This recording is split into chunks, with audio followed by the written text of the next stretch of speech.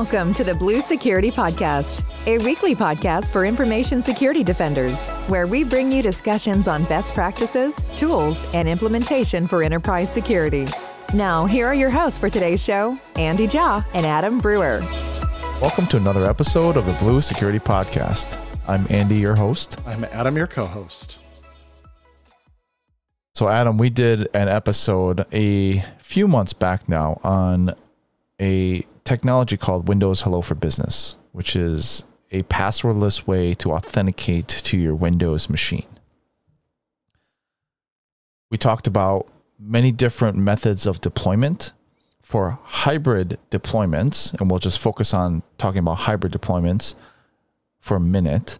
There were two ways to deploy it. One was called key trust, and one was called certificate trust.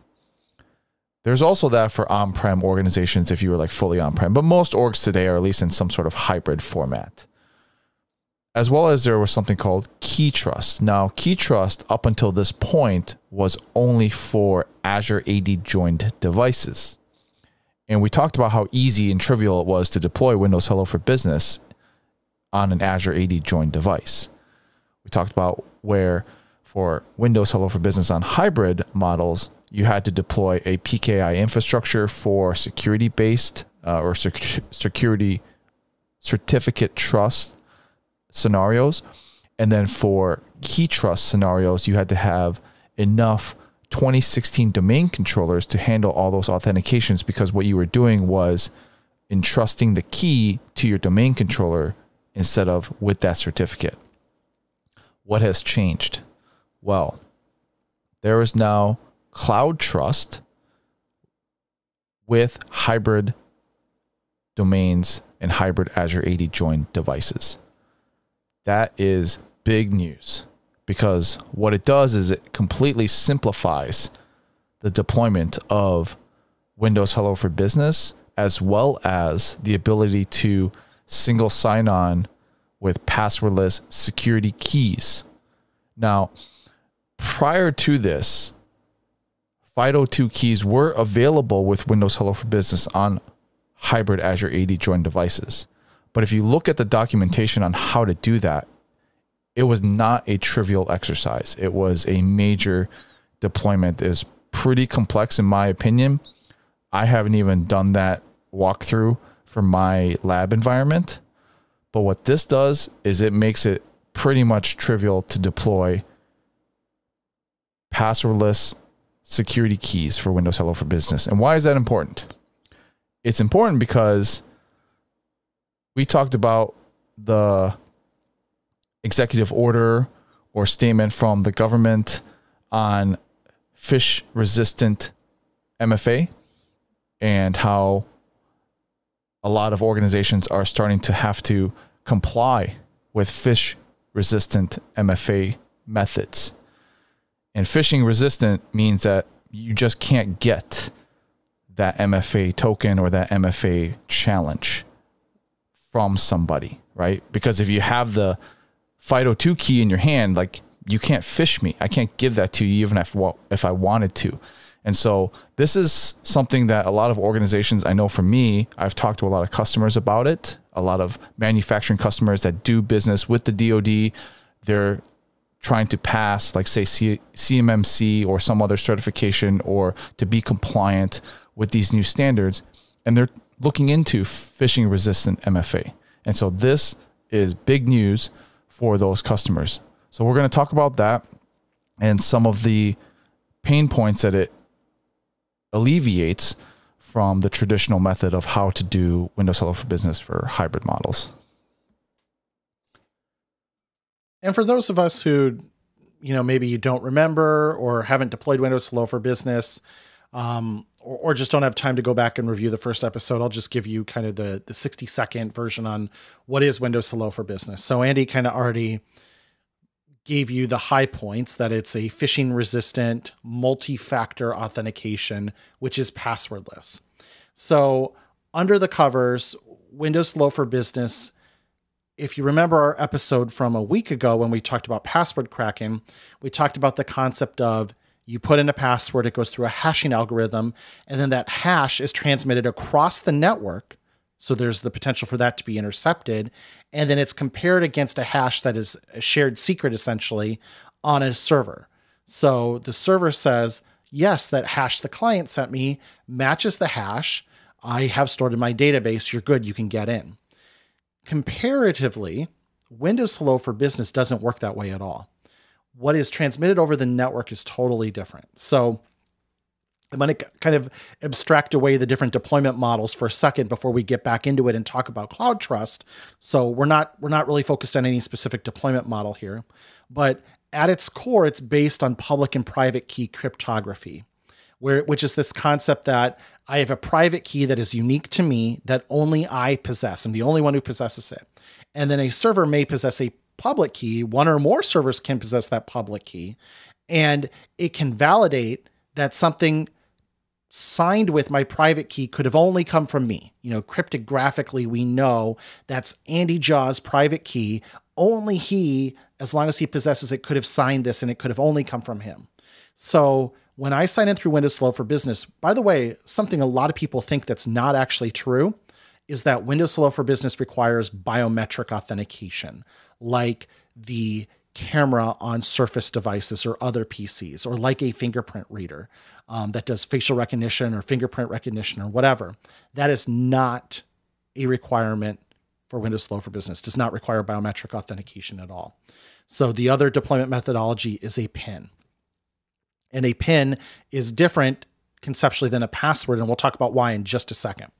So either I use my biometric or I use my PIN, and that unlocks the TPM on my device, my trusted platform module, essentially a secure enclave for secrets, unlocks that private key, and it uses that private key then to sign a proof, a time bound proof. And so this proof only lasts and only is valid for a very short period of time. And it contains that proof again, like we'll say, Andy signed this. And that proof is what's transmitted across the network. Now, an attacker can intercept that all they want, but A, it expires in a very short period of time. And B, it it's it's a proof. It's not something I can use over and over again. And so when that lands at the remote server, it compares that and uses the the public key to validate that this could have only come from Andy, that it is still valid, it's within the time expiration that is allowed for that proof. And if that all lines up, it says, yep, Andy, you can sign in. So I've not, the, the server doesn't have that secret. You know, it doesn't have that private key on its end. There is nothing to steal essentially over the network because that proof is worthless after a very short period of time.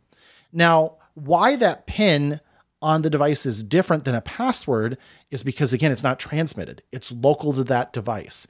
That pin is only valid on that device with that combination of trusted platform module or TPM. And so, in this way, the pin does not need all of the complexity of a password because there isn't something a remote um, server has stored. It's not something an attacker could steal and then attempt to crack. And in fact, on that device, if the attacker stole that literally that specific laptop, TPM implements anti hammering at a silicon level. So it ensures that only so many attempts are valid against it before it locks out.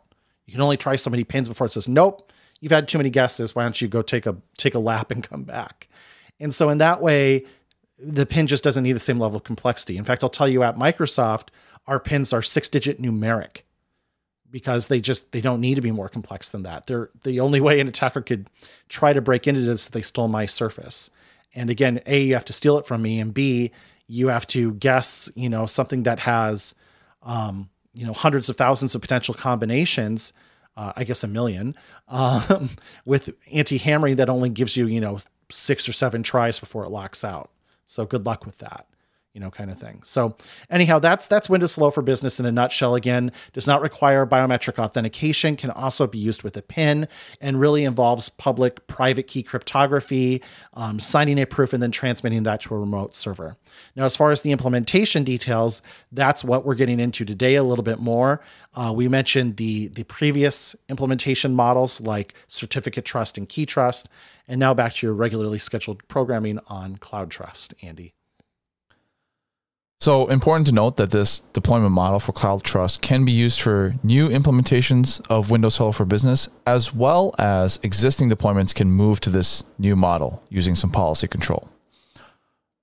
Windows Hello for Business uses something called Azure AD Kerberos to basically alleviate a lot of the pain points that IT professionals have had over the years trying to deploy Windows Hello for Business in a hybrid model.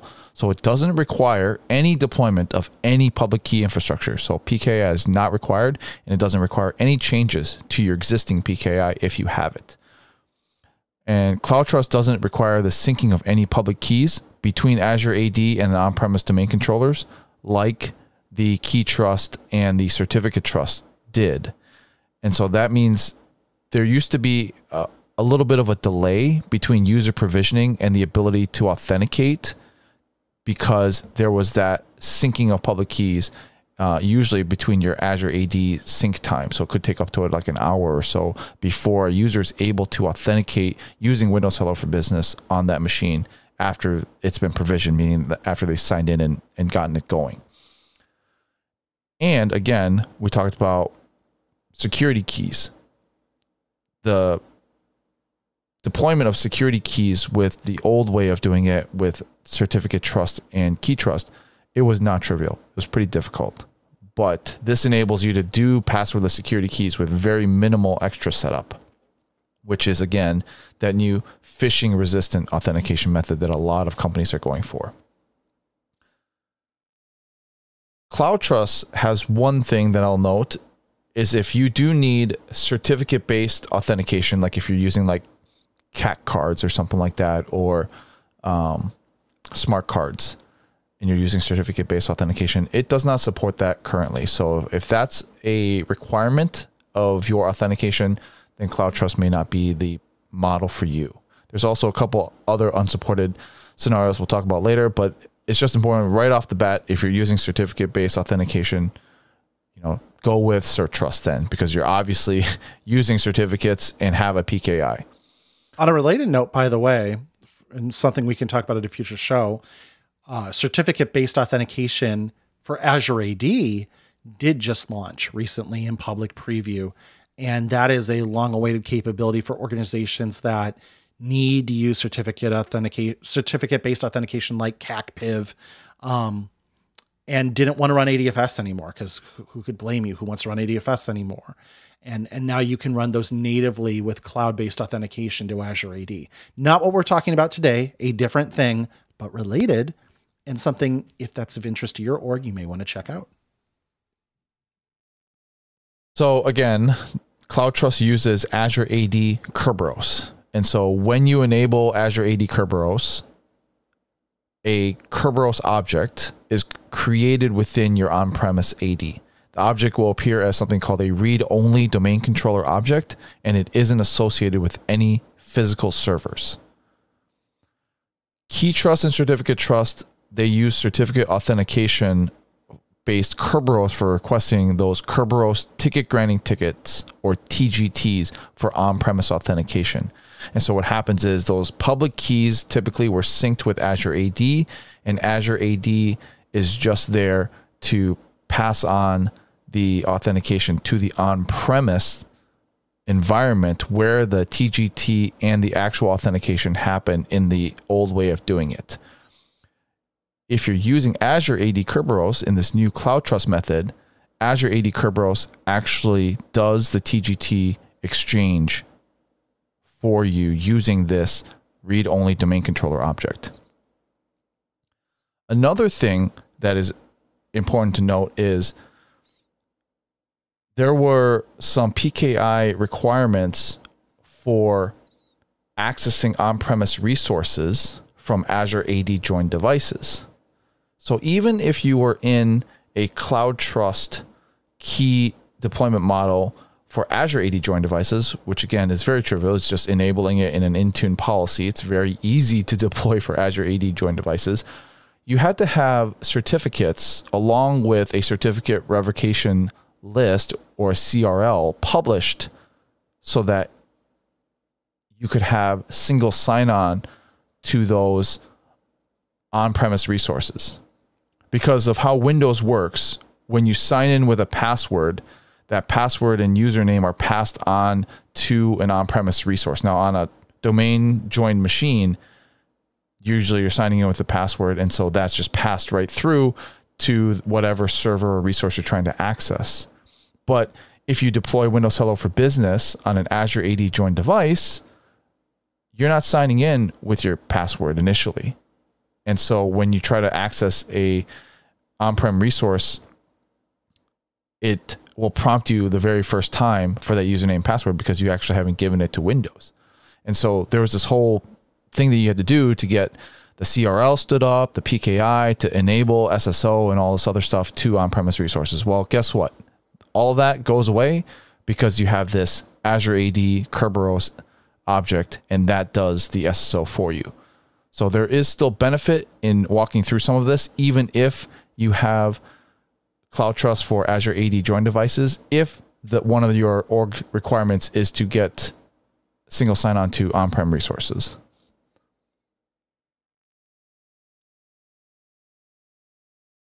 Which, to be fair, I, I think for most organizations is one of the concerns about moving to that device identity model where it's Azure AD joined, it's cloud joined, it's that cloud native kind of model. They say, well, we still might have this on premises need or that on premises need.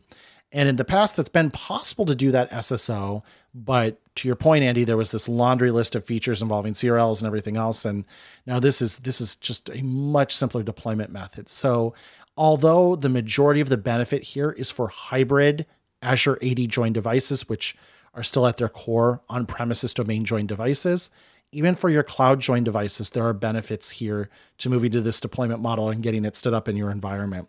They will see that seamless single sign on experience to those on prem resources like file shares, printers, um, on premises web apps that use like IWA and stuff like that. So, um, just a lot of benefit all the way around.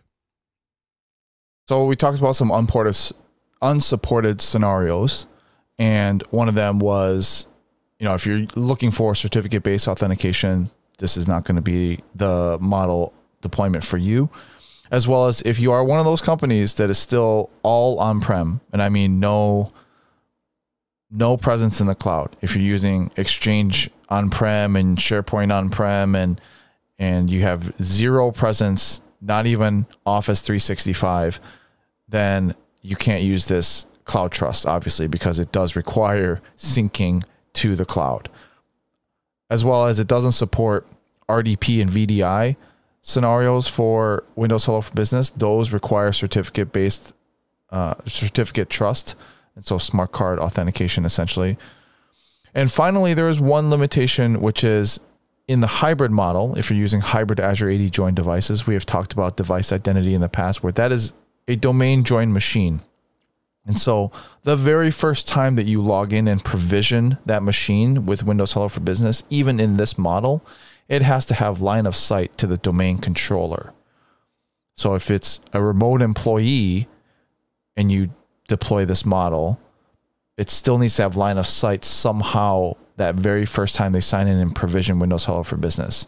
After that, however, you do not need line of sight to the DC. So that's important to note After the very first time, the authentication happens purely within Azure and that Azure AD Kerberos object. So let's talk about deployment really quick at a high level. It's pretty simple, and we'll put the documentation in the show notes so you guys can review it if this is something of interest to you. The first thing you got to do is deploy this Azure AD Kerberos. Now, if you've previously deployed Windows Hello for Business and you're using it now, and you've deployed the on premise SSO using security keys, which was that laundry list of things that you had to do, you already have that Azure AD Kerberos object. So you can skip this part if you've already done that part. Now, if you haven't done any of that, then you'll need to deploy the object. And that is just a series of PowerShell uh, commands you have to install the AD Azure AD Kerberos module using a PowerShell command, and then just running a few PowerShell commands and linking it up to your Azure AD tenant. So not a whole ton there. some documentation to read over, make sure that you have it all correct and understand it, and then just running it and putting that object within your AD domain. After that, it's just configuring the policy. So you can deploy it two different ways through GPO or through an Intune configuration profile. Now, if you're doing it through GPO, then you might want to update your ADMX or ADML files for your Windows 10 21H2 or Windows 11 group policy settings. So that's important to know too. This will only work on 21H2, Windows 10, or Windows 11 and higher. This feature is not available for older versions of Windows 10. So make sure that you have those versions of Windows 10 or 11. And then, you know, if you're behind on your ADMX configuration settings, you'll want to go and grab the latest ones because there's a new setting in there that when you enable the Windows Hello for Business, it has a selection for use Cloud Trust. If you're in a co-management or Intune managed state, you want to create a configuration policy for Windows Hello for Business, and then you'll have to use a custom OMA URI profile to push through a essentially a registry key, right? To configure the Cloud Trust method for Windows Hello for Business. And that's pretty much it. Then you can test out your users right? So have a user log in, they get provisioned. It should prompt them right away to create a PIN. You need to have MFA enabled and it'll prompt for MFA and then the provisioning starts. And just remember that first provision has to have line of sight to the domain controller. So, all in all, a very, very simplified deployment method requires no PKI infrastructure. Deployment of this AD Kerberos object It's just a few PowerShell scripts and then configuring the GPO and or and or the Intune policy for co-managed situations. So very very um, huge improvements on getting a passwordless method. And I'll tell you from experience, number one, Windows Hello for Business is a more secure method of authenticating to your PC because it satisfies an MFA requirement because your PIN or your face is something you know or something you are. And then the machine, because that pin or biometric is local to that machine, it is something you have. So technically, it is multi factored. And it's a better user experience. I have never deployed Windows Hello for Business in an environment at an organization where someone was like, oh, I'd rather enter in my eight to 10 character password that you require that's super complex. No, like putting in a pin or being able to sign in with your face, users love that. And in fact, most users expect it these days because it's in our smartphones. It's something that they do daily. So, highly recommend that you look at this new deployment model if you haven't deployed Windows Hello for Business before. And even if you have, regardless of your deployment method previously, it is something to look at with this new Cloud Trust. I don't know what else to add to that. That is a pretty great summary of why you should care and why you want it. The only other thought I have to pile on here is coming from the world of IT, I know how hard it is to bring multiple groups together. And I certainly know that some of the crustiest dudes or gals in any IT environment are like your old school Windows Server infrastructure types, and getting them to do anything requires a congressional act. And so the less you need their involvement to do something you want to do for like the endpoints or for security, the more likely you are to succeed. And so essentially what this has done is reduce the amount of effort you need from other stakeholders to move your endpoint security forward. And that is a win. I know for a lot of IT people, that really, really, really helps. And again, we've been kind of we're big fans of Windows Hello for Business on this show. We're big fans of passwordless on this show. Passwords must die. And the way we get rid of passwords is we start having credible alternatives. And from there, we can go down that path of eventually moving all the way to getting rid of passwords entirely. In fact, um, you know, people are always like, well, what's the point of having passwordless if I can still sign in with my password? And it's, well, we have to have the alternative first before we can get rid of the other thing, right? And the very first service that now offers uh, the ability to get rid of passwords entirely from Microsoft is consumer Microsoft accounts. So it is actually possible now on your consumer Microsoft account, like you use for Xbox or Skype or Teams consumer or for your uh, M365 family account, you can actually go on now to your security settings for that account and you can say, remove my password. I don't want a password anymore. I will sign in through Authenticator. You can send a one-time passcode to my email. You can do all these other methods. don't don't even accept a password. And that's where we're going, right? That's the goal is to get to a point when what we just talked about last week, Andy, you know, about MD5 cracking and and and hash cracking. Wouldn't it be great if we just didn't have hashes in Active Directory at all? And and they were or they were garbage, you know, they're 64 character um, before they were hashed, you know, passwords that nobody knows and doesn't use. Like that's the dream.